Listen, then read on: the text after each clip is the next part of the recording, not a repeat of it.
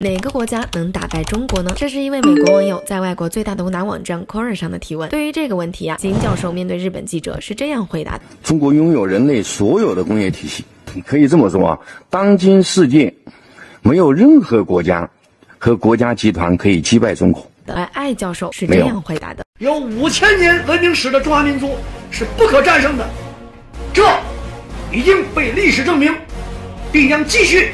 被历史证明，那各国网友都会如何回答这个问题呢？一姐带大家来看看吧。马来西亚女网友 Stargather 回答道：历史上满洲和蒙古这样做了，为此他们必须学习汉语，学习中国人如何治理国家，然后用中国的制度来管理中国。后来他们被中国吸收，成为中国的一部分。中国通过防御来征服其他国家，如果有人攻击中国，他们很快就会成为中国的一部分。毕业于清华大学的网友加生徐回答道：二零一七年中国工业总产值超过美国、日本和德国的总和。并且仍在以较高的增速增长。六十年前，我们可以用小米加步枪打败朝鲜半岛的十七国联合军。今天，谁能打败我们？荒谬！网友 Won Defa 回答道：“印度可以用一万辆摩托车运送百万军队，这比中国运二十重型运输机更便宜，速度更快。我有证据，印度的摩托车可以与一架运二零相媲美，这是毫无疑问的。接下来是韩国，这不是完整的版本。我曾经读过韩国的历史书，韩国征服整个欧亚大陆，他们才是真正的征服者。”加拿大地缘政治学家 Nansen James 回答道：“首先，中国永远不会发动战争，除非领土被夺走，因此任何时候都将采取防御姿态。其次，在防御战中，中国是无懈可击的。中国有十四亿人口，常备军超过两百万，任何国家都不可能入侵和占领中国。中国队有主场优势。第三，即使是世界上军事最强大的国家美国，也从未赢得过游击战。美国在这方面确实非常糟糕，在中国领土上发动战争，本质上是游击战。与伊拉克战争不同，震慑并不能解决问题。第四，中国。”是核大国，凭借核武器以及由洲际弹道导弹、潜射弹道导弹和远程轰炸机组成的三位一体发射器，可以打败任何攻击者。当核武器摆在桌面上时，战争获胜的前景是非常非常没有吸引力的。紧接着，网友 Thomas Choi 回复道：“不要忘记，截至目前，中国拥有最先进的防御性军事力量。简单来说，没有一个国家能够赢得中国，也没有一个国家敢于挑战中国。”奥克兰大学硕士 Jin Z 回答道：“中国试图在国内与中国较量，没门，因为你不是要与两百。”万士兵或世界上最大的海军较量，而是要与十四亿中国人作战。美国输掉这么多战争的原因，也是他们将在中国输掉的原因。美国低估了这些国家人民不允许美国占领他们的国家和控制他们的决心。中国在最虚弱的时候就遭到了美国、英国和欧盟伙伴的入侵和掠夺。现在情况不再是这样了。中国人会为了保护自己的国家而战斗到最后一个人，因为他们有理由战斗。为了留在他们生活了五千多年的土地上，永远不会再让别人控制自己。网友 sausage white 回答道：“这真是一个没有。”尝试的幼稚问题。如果你问谁能打败俄罗斯或美国，问题也是一样的。如果这三个国家中的任何两个发生战争，另一个国家肯定会被打败，而这是不太可能发生的。超级大国之间永远不会有热战，或者其他大国如日本和欧盟崛起并取代他们的位置。在回答这个问题之前，我们甚至不需要考虑这三个超级大国的军事实力。如果你谈论经济战争，它已经打了很长时间了。作为世界上最大的市场，资本不可能放弃中国，所以打败中国是另一个不可能完成的任务。有 William Young 回答道：“我认为没有哪个国家可以打败中国。你知道，一几千年前我们和古巴比伦人一起玩青铜器；二两千年前我们的想法和欧洲一样；三一千年前我们有能力与波斯帝国和罗马帝国竞争；四几十年前我们渴望赶上比我们强大一百倍的日本。现在我们的对手已经发生了很大的变化，而我们仍然在这场比赛之中。”紧接着，印度网友 Anna San 回答道：“读一下中国的历史，你会发现他们已经被所有能想到的人都打败了。”中国网友衰劝回答道：“问题是，那现在大家都去了哪里呢？人家本来就傻，